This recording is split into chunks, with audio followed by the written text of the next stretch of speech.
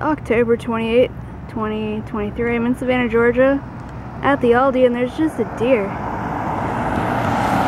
It's a buck with some antlers just standing over there.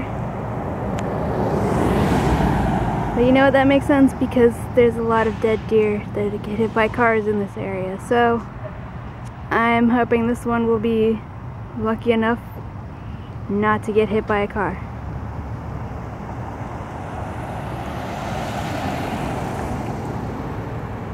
It knows I'm watching, so bye-bye.